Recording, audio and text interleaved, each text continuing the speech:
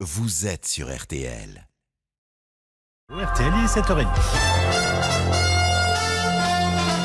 RTL Matin, Yves Calvi. 7h30, toute info avec euh, Amandine Bégaud pour tout entendre de l'actualité de ce 17 mai. Bonjour Amandine. Ah, Bonjour Yves, bonjour à tous. Et d'abord direction euh, Besançon et le docteur Péchier n'ira pas en prison, en tout cas euh, pas tout de suite. L'anesthésiste mis en examen hier pour 17 nouveaux cas d'empoisonnement présumé a finalement été laissé libre, libre mais placé sous contrôle judiciaire. Décision du juge des libertés saluée ce matin par son avocat. On n'est qu'au début d'une toute nouvelle procédure et ce qui nous fait peur aujourd'hui, c'est le temps que va prendre ce dossier. Et il nous semblait fondamental que le docteur Péchier puisse euh, rester libre pour sa famille, c'est tout ce qui lui reste. On lui a pris son travail, sa vie professionnelle, il ne lui reste plus que cette liberté et c'était essentiel de la conserver. La réaction cette nuit de maître Schwerdorfer, l'avocat du docteur Péchier avec nos confrères d'M6. Au procès des époux Balkany, les premières réquisitions. Et le parquet a requis 4 ans de prison ferme et 10 ans d'inégibilité, le maximum contre Patrick Balkany. Beaucoup trop, dit son avocat, maître Éric Dupont-Moretti. C'est pas le seul fraudeur du fisc, donc il a fraudé le fisc, il doit être condamné.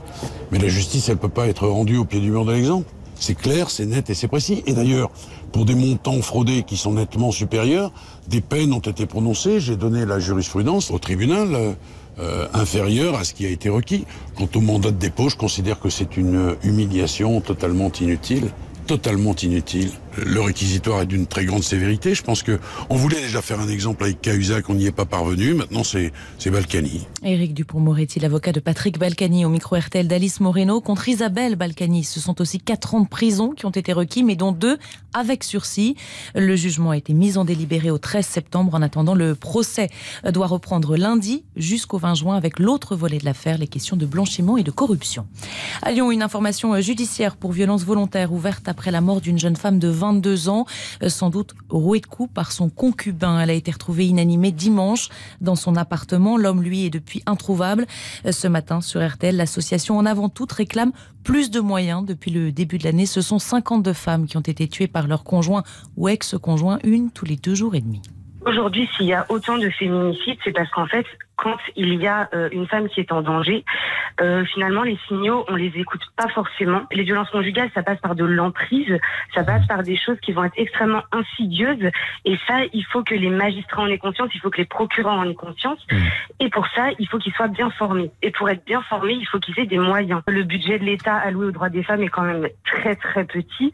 C'est 0,007% euh, du budget global de l'État. On nous dit que effectivement, il faut lutter contre les violences conjugales, il faut arrêter que les femmes meurent. Et pourtant, euh, les moyens alloués aujourd'hui sont très très loin d'être suffisants pour régler cette question.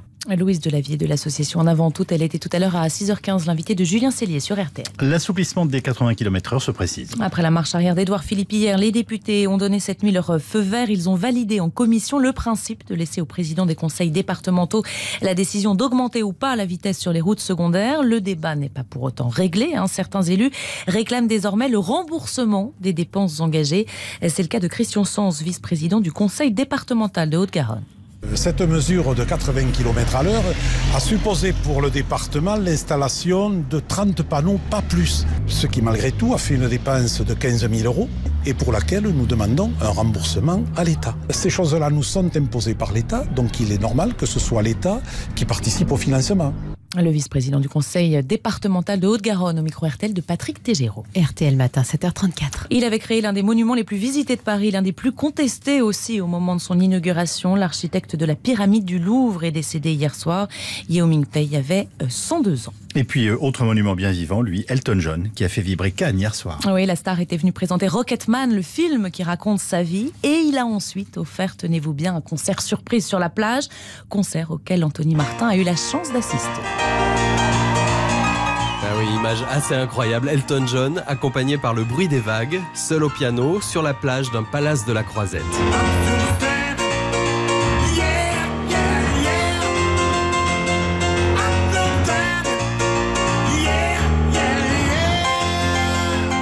I'm Still Standing, toujours debout.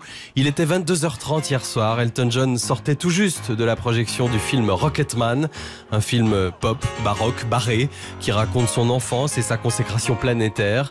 Un film qu'il produit et dans lequel il ne s'épargne pas drogue, alcool, sexe, rien n'est édulcoré. C'est très réussi. Elton John, encore sous le choc. Cette soirée a été très émouvante pour moi et tous les acteurs de ce film. Merci d'avoir fait de ma vie un objet de cinéma. Et même si ce film ne rapporte pas un centime, ce qui tuera quelques personnes ici présentes, c'est le film que je voulais voir exister et je sais que c'est un moment rare. Beaucoup d'émotions derrière les lunettes d'Elton John, lunettes au verre rouge en forme de cœur et serties de pierre. Puis la star demande à l'acteur anglais Taron Egerton, qui l'incarne à l'écran, de le rejoindre sur la plage. Ils interprètent ensemble Rocketman avant de disparaître.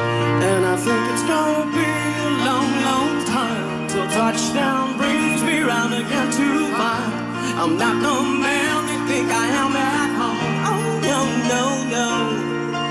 I'm a rocket man. On a l'impression d'y être. Hein. On aurait aimé, en tout cas, carte postale signée Anthony Martin. Quel climat étonnant. Anthony, qu'on retrouvera bien sûr en direct de Cannes tout à l'heure dans Laissez-vous tenter. Euh, il sera 9h sur RTL. RTL qui compte ce matin un nouveau bébé. La petite Isia Bois est née très tôt ce matin, 5h57, déjà bien matinale. Ah oui. euh, elle de, et sa maman. petite d'Olivier. Euh, voilà, elle et sa maman vont bien. On les embrasse ainsi que le papa Olivier, donc ah. que vous avez l'habitude d'entendre. Voilà toutes nos pensées à cette petite famille. C'était le Tout Info avec Amandine Bégon. On se retrouve pour la revue de presse. Oui, à tout à l'heure, 8h40. 8h40. Je vais essayer de vous intéresser à l'Europe. Sacré défi. Ah bah ça, oui,